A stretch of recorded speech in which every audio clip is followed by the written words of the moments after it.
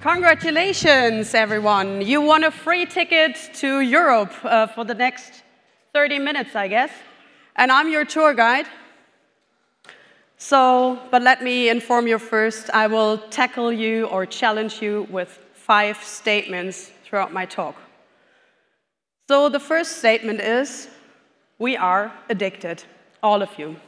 I'm not talking about coffee, alcohol, nicotine, because this is a smoking-free, non-alcohol, non-coffee ride that we're taking.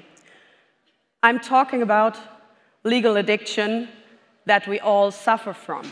What do, I, what do I mean with legal addiction? I mean that we are all abide by laws, no matter who you are, if you're a federal person, if you're an operator, if you're a vendor, or if you're a consumer. So there are laws all around us, and we have to stick to them. Right? Am I right?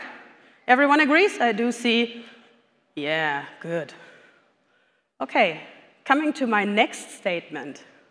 We all love digitization, don't we? Oh, okay. See heads up? Good.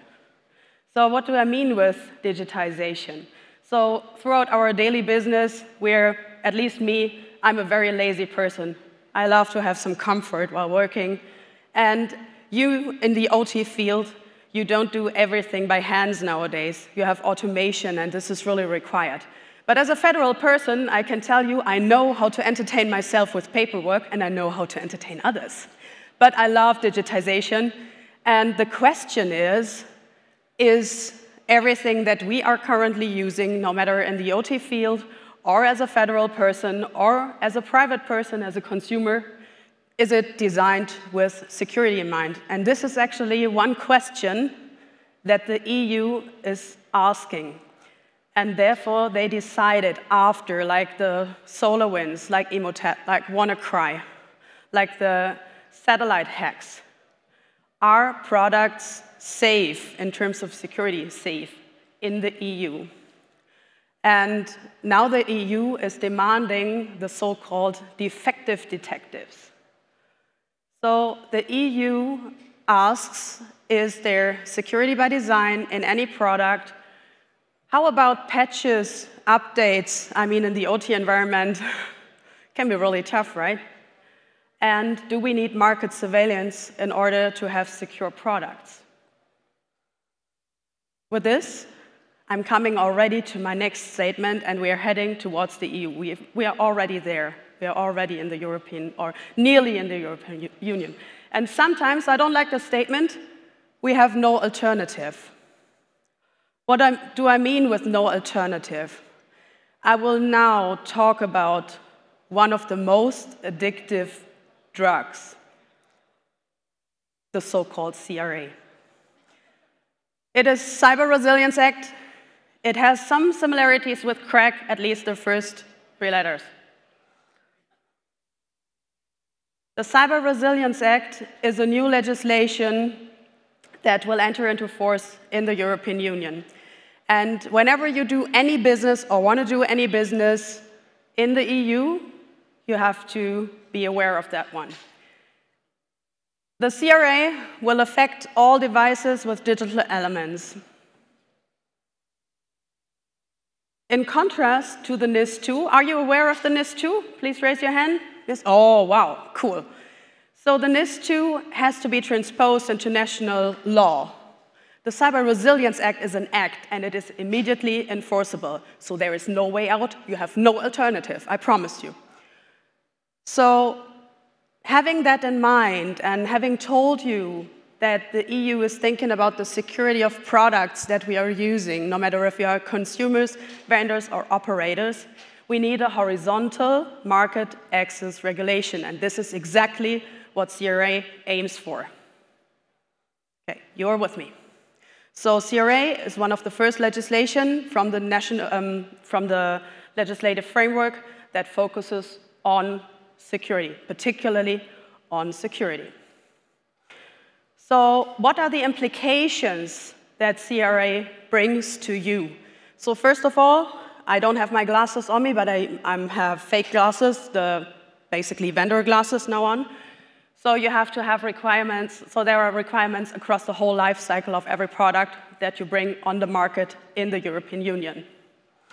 um, those requirements are related to the properties of the products. This is one part of CRA.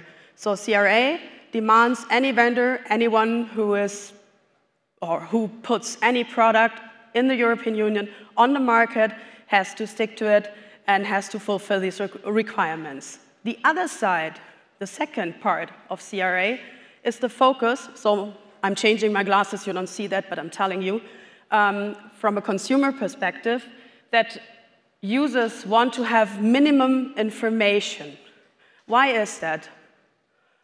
Because we have realized in the European Union having a smart robot that is scanning your house might also scan your movement profiles or might function as, for example, a botnet or as part of a botnet.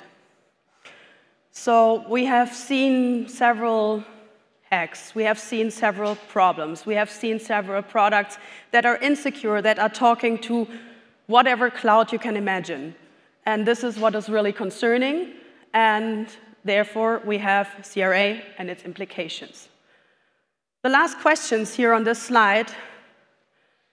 Okay, what happens if CRA is now into force? How about the availability of products? Are there any products available in the European Union anymore?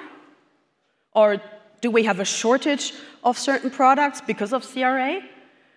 How about your reputation as a vendor, for example? You are selling products, you're bringing products on the market, and they have security problems, and they are this little robot that is talking to whatever cloud.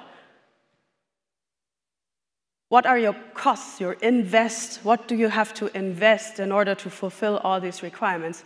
These are very good questions, and I hope to chat with you after my talk about that.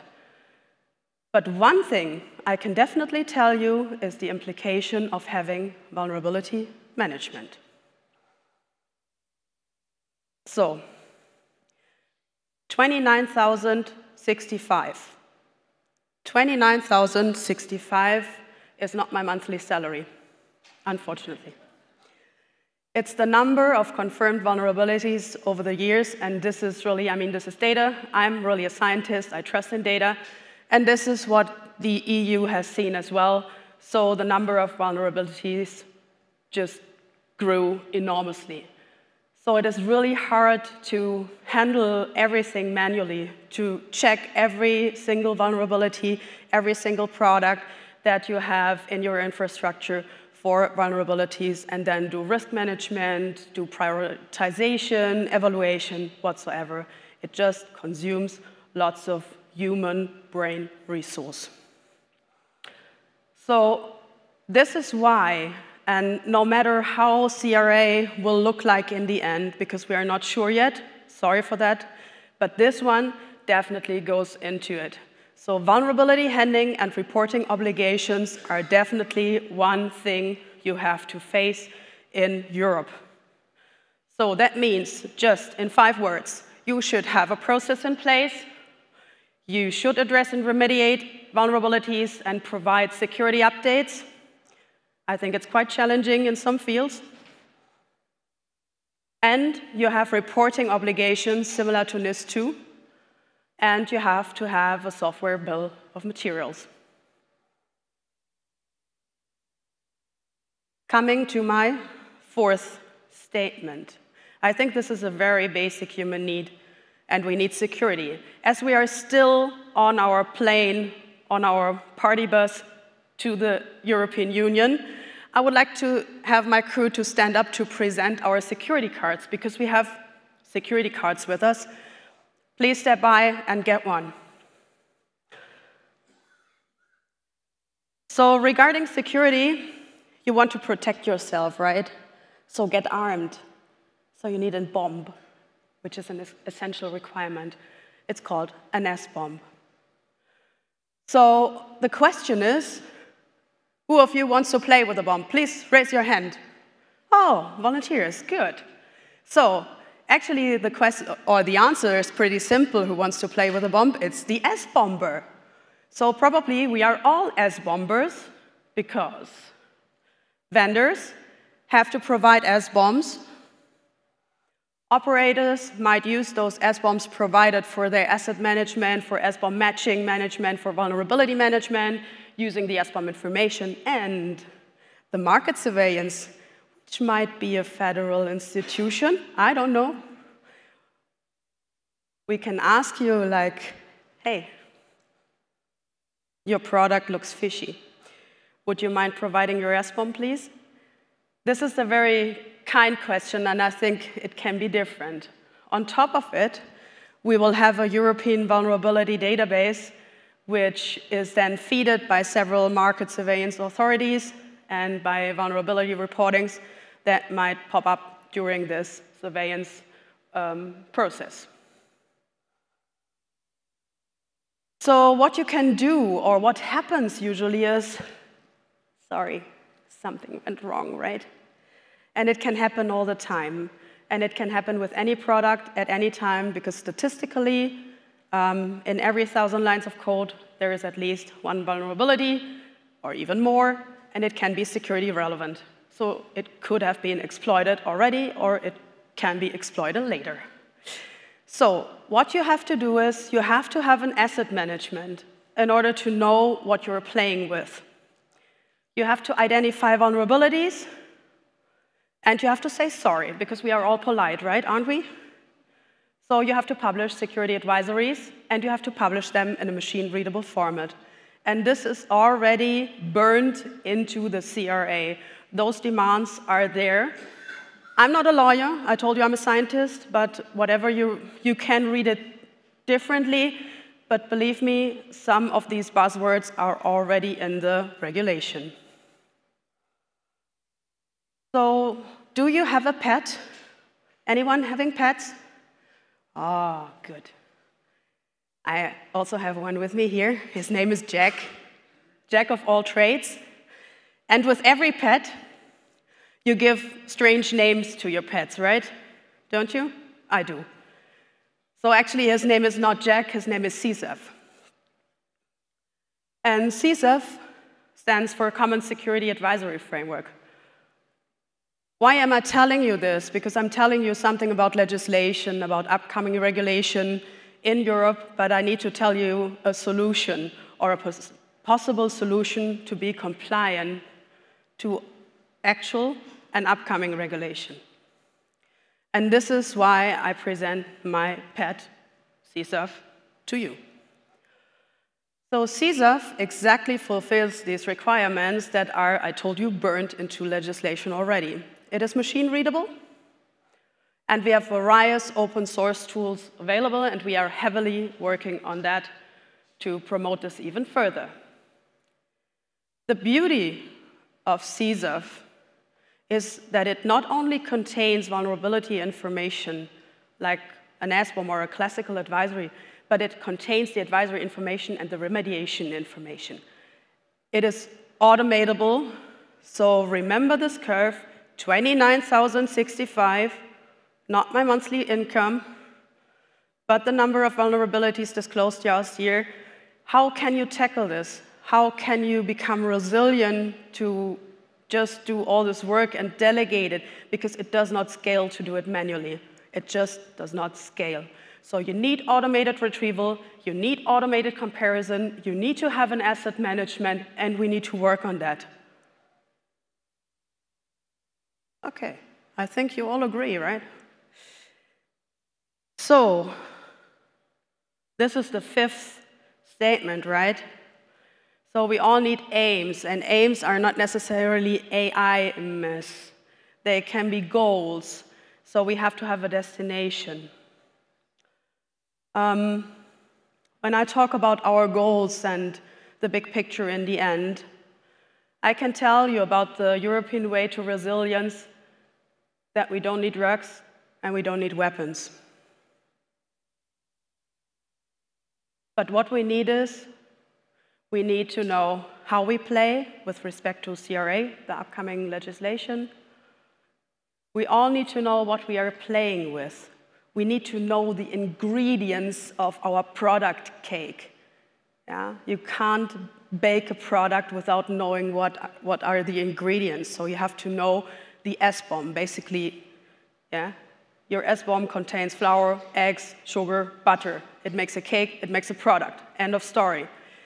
And as I said, we are all polite, so we need to say sorry. We need to, we need to tell people if something went severely wrong and what they have to do in order to be resilient, because this is one of the big aims. So now you can tell me, well, Dina, sorry, I'm not a drug addict, I don't take crack. I'm not compliant to CRA because I'm not interested in the European Union, I'm not selling my products there, I don't have any business in the EU. So, fine, don't argue with me. But the consequence is no EU. So neither distribution nor any business there. So just summing up, if you have any business or want to have any business in the EU, you have to comply to CRA. So, coming to an end, um, what I've seen here is a very small and pretty well connected community. And um, I, it is my first time here, and um, I just met people. I'm now greeting people in the morning, although it started yesterday, and it feels a bit like a big family. So I think there is good potential to do things together with security in mind and to work on risk management, better asset management, to speak openly, to provide transparency to users, to everyone, and to also work on a vulnerability management process, however it might look like. I think there are many solutions. So I kindly ask you to publish security advisories as vendors, and I kindly ask you as users and consumers to read security advisories and use this information for your resilience. So, summing this up, I can tell you in the EU, we love crack and bombs, and we love advisories. So, in order to become really resilient and in order to fulfill upcoming and actual legislation and also be NIS2 compliant and CRA compliant and whatever comes up compliant, demand and promote CSAF, and this will help you to fulfill everything that is there and coming. So with this, I would like to end our short trip to the EU. The exits are on the right side. Thank you.